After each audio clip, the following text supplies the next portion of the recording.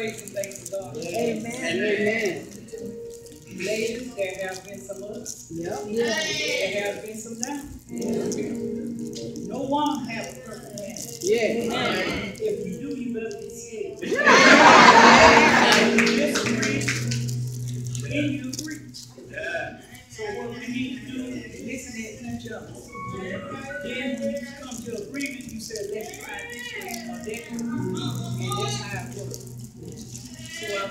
experience.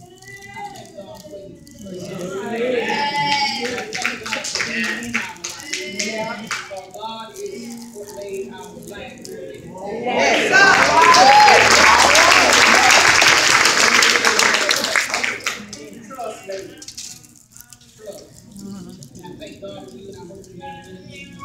Amen.